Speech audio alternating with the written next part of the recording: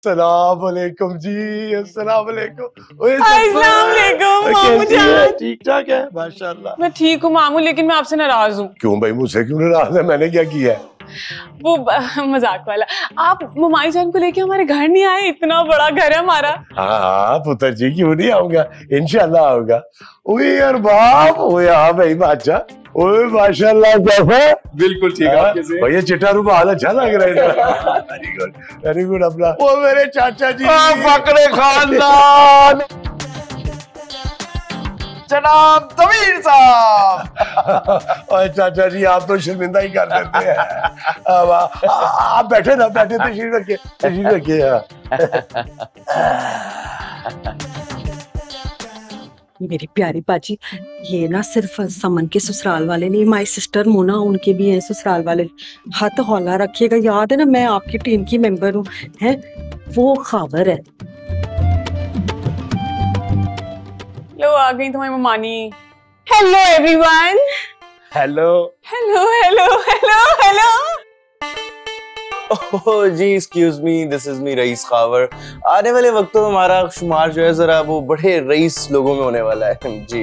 ओह तो तुम हो खावर। Future rice. भाई लगता है तुम्हारी तो सेहत के साथ ना तुम्हारा ब्रेन भी खराब हो गया है। जरा हमारी तरह खाते पीते रहा करो।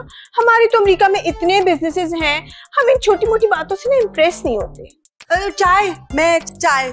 का कर हाँ चाय ले आया ममानी जान आप तो कितनी प्यारी हैं बैठे ना मामू के पास। श्योर जी बैठो ना बैठो रफीक चाचा मेरे रफीक चाचा। तो इधर पाकिस्तान में आपका कुछ भी नहीं है? नहीं पाकिस्तान में इधर भी हमारे अब्बा का विलेज है वो तो अपने विलेज के चौधरी हैं और उनके पास ना बहुत सारी भैंसें और दूसरे एनिमल्स हैं। हम भी जद्दी पुश्ती रईस हैं मेरे दादा जो थे ना उनकी कोचें पूरे पाकिस्तान में दंदनाती फिरती थी। अच्छा। अच्छा मेरे अब्बा जी के ना घोड़े हैं, भैंसे हैं, खोते भी हैं। और अब्बा जी के खोते तो इतने मशहूर हैं, पूरी की पूरी गाँव की फ़सलें तबाह कर देते हैं।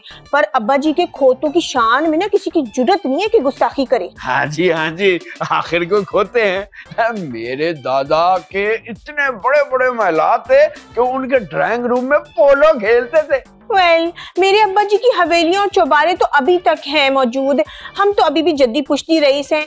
सिर्फ़ पास्ट के कारनामों पे नहीं ज़िंदा रह रहे स्वीटी जी आज की बात सुने।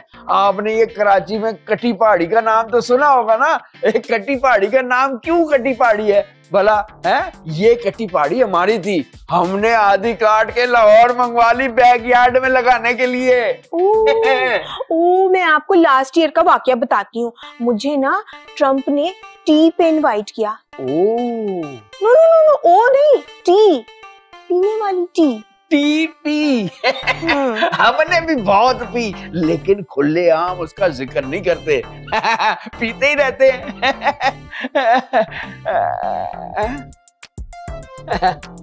मट्टी पाओ जी, मट्टी पाओ। मैं आपको बता रहा था।